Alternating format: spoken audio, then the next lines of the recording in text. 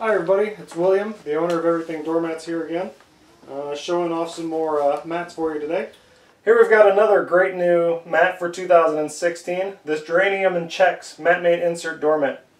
Featuring geraniums and a checkerboard pattern around the outside edge, this mat makes a great standalone mat and can be used as a front doormat, a front entry mat, back door mat, deck door mat, anywhere you want to use it.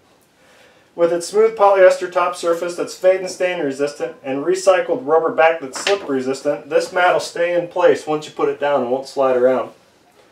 You can use it by itself or you can pair it with one of our trays. Here I'm showing it off in our scrollwork tray.